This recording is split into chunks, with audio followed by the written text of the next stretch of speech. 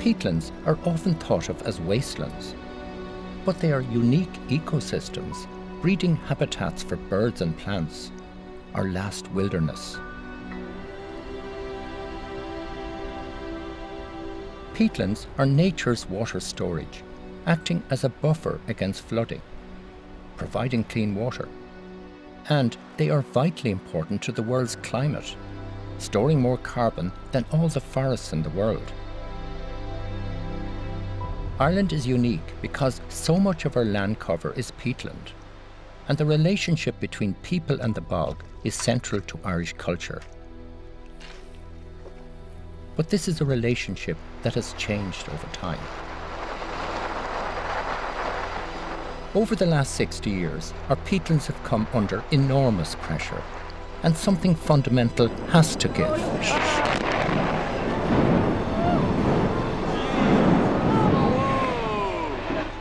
So, how do we think about our peatlands in the 21st century? What is our responsibility to protect them, and why?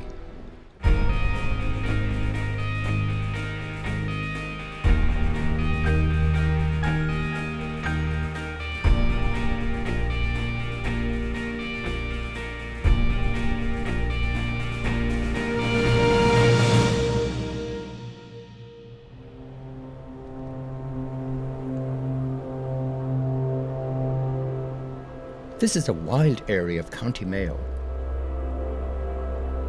11,000 hectares of peatlands and mountainous terrain in Ballycroy National Park.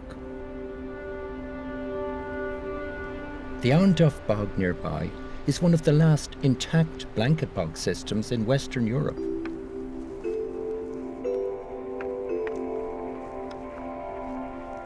Many locals here still use turf for their winter fuel supplies utilising turbary rights as they have for generations. Michael, Duncan, you're very welcome. pleased to meet you. How are you? What a wonderful place. Wow.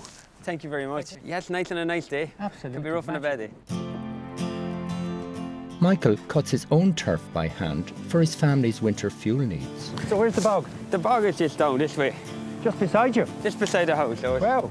only uh, So you just have to go next door. just next door. No one in this community lives far from the bog, and many are dependent on it to heat their homes. So when did you cut all of this here, Michael? Uh, this was cut uh, last March and April. Right. And I noticed that there's some of the turf still out there. Some of the stuff is still out there. The lower down stuff dries quicker, so I cut that later on in the summertime. We seem to be getting our summers earlier in the year now, and we seem to be getting a lot more rain, where traditionally we would have a summer. So it's getting harder to cut turf. It's getting harder. If you don't cut it early, you won't save it the last number of years. Yeah, yeah. There are very few people left in Ireland cutting turf by hand like this. I spent many spring and summer days as a child cutting turf with my father, and this is bringing me right back. Okay, so what I'm going to do first is nick the bog, um, which is breaking the piece of the bog that I'm going to cut away from the main blanket of bog, so I can dig into it. And that's the kind of straight line now that you've got all the way along the bog That's there, the is it? straight line, Yeah, yes. yeah, absolutely. Well, the older people were very fussy that you kept the bog straight, Absolutely. and they'd go very mad with you if you went underneath it. You're doing a good job there. Nicely done. Thank you. I'm not going to be neat like you are now, I'll tell you that. Not so bother. Yeah, they, they look large and big, but uh, they'll only be a third of the size of them when the time they dry out. Do you want me to take over and have a go? Yeah, not so bother. Okay. Lovely. Okay. Now, I'll probably make a mess of this, Michael. No, you're fine. Haven't done this for a long time. So we'll let you work away. Now, my father was very good at this. As the old people would say, the bog is in you. It's amazing. You feel like cutting your way through history here. Yeah. You know, when you think. And, and as we go deeper down, we're getting closer to the Ice Age. We're getting closer to the ice age. 15,000 years ago Yeah. when that Ice Age passed, Age, you know.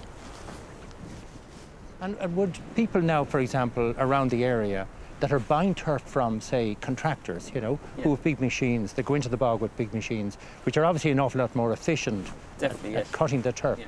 But would they understand the damage that's being done?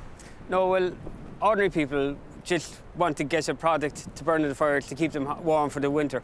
They wouldn't have an idea about uh, what the effect on the bogs the machines would have and whatnot. Right, yeah. So, in other words, there isn't enough information getting There's not enough information out there, no. And uh, the way the information has been portrayed to people out there, it's, it's been done wrong too, in my opinion. A lot of people would feel that Europe are dictating to people, you can't do this, you can't do that. Like, uh, nobody should be put out.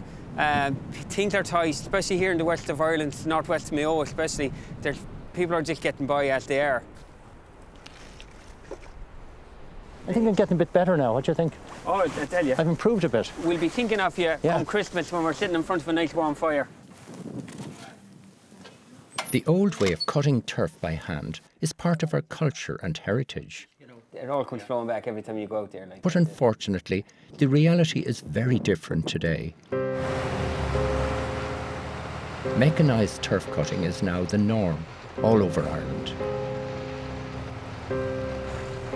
Intensive mechanical extraction using hoppers and sausage machines to cut turf for heating and for other commercial uses has a much greater impact on the peatland landscape. It is widely thought that bogs are wastelands and that cutting turf is a productive use of a natural resource. But cutting our bogs can transform them from functioning wetland ecosystems into wastelands.